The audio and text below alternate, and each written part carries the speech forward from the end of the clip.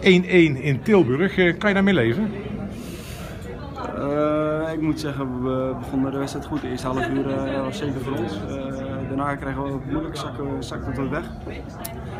Uh, ja, dan kreeg je een uh, hele lullig goal tegen eigenlijk. Corner, die valt er tussenin, een scrimmage en dan wordt binnengetikt. En dan ga je met 1-0 achter ga je de rust in. Dat is, dat is wel heel zuur.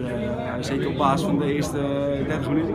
Dat is een vervelend moment, hè, zo vlak voor rust. Ja, daar, daar baal je van. En, gelukkig hebben we ons snel aangepakt in de tweede helft. We begonnen goed en gelijk de 1-1. En ja, dan zie je dat op basis van de tweede helft, maar ook zeker van van de eerste helft dat je eigenlijk misschien wel uh, twee punten te weinig hebt.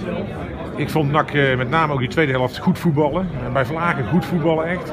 Alleen, ja, jullie creëerden weinig kansen. Dat was eigenlijk het enige. Ja, we waren zeer dominant in balbezit. Uh, we wisten goed de vrije man te vinden. De, de backs die waren veel vrij en daar maakten we veelvuldig gebruik van.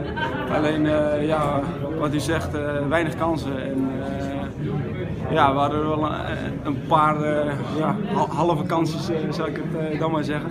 En ja, dan moet je ook een beetje geluk hebben dat hij dan goed valt en dat, hij, dat je dan hier met een 1-2 weggaat. Ik denk dat we tevreden mogen zijn over hoe we gespeeld hebben in de uitwedstrijd. Ik denk dat we Vlagen zeer dominant waren en goed voetbal laten zien. Dus compliment aan het team. Dit was toch een uh, belangrijke wedstrijd. Niet alleen omdat het een derby was, maar ook gewoon, uh, ja, als je kijkt naar de ranglijst. Ja, zeker. Je mocht hem niet verliezen. Nee, nee, nee. Nee, en uh, ja, wat ik net al zei, dan is het dan is misschien een punt te weinig, maar we houden zeker wel een heel goed gevoel over voor aankomende dinsdag. Dus ja, positief houden. Zoals gezegd, natuurlijk Willem II NAC een Brabantse derby. Vond jij die echte derby sfeer aanwezig? Nou, ik moet zeggen, wij hebben er deze week weinig van gemerkt. We hebben besloten getraind. En, uh... Maar ik bedoel tijdens de wedstrijd nu? Ja, ik, ik, ik hoorde meer NAC-supporters dan, eh, dan Willem II. Dus uh, dat, dat geeft me aan dat we echt een dominant gevoel hebben. En, als de supporters van de tegenstander hoorden, dan was het weer fluiten richting hun eigen spelers. Dus ik denk dat je het dan sowieso wel goed hebt gedaan als, als team zijn. Toch nog eventjes over die derby, want ja, de gemoederen raakten wat verhit na afloop. Wat, wat gebeurde er na het laatste fluitsignaal? Jullie gingen je eigen spelers bedanken en toen? Ja, we gingen naar de eigen spelers en er werd wat gegooid naar ons toe. Fakkels?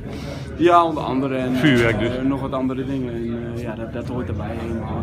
het is jammer dat het zo uit de hand loopt, maar aan de andere kant...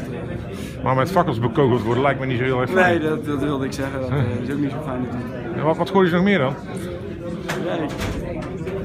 Iets, een paar harde voorwerpen, dat heb ik in ieder geval uh, gevoeld, dus uh, ik zou niet weten wat. Hey, even over uh, jou persoonlijk, want dit was een overwinning voor jou denk ik hè, vandaag. voor het eerst weer sinds lange tijd in de basis, zeg maar. En speelde volgens mij, mij inziens ook een hele goede wedstrijd. Ja, ik moet zeggen, uh, ik zat er lekker in uh, voor mijn gevoel. En, uh, ja, was mooi. Ik kreeg net compliment van de trainer dat hij echt tevreden was over mijn spel vandaag. Dus ja, dat, dat, is een heel fijn gevoel om na lange tijd weer te mogen starten en dan ja, een goede invulling eraan te geven. Dus iedereen blij denk ik. Gianluca Nijholt gaat fluitend naar huis. Nou, fluitend niet. fluitend was met drie punten, maar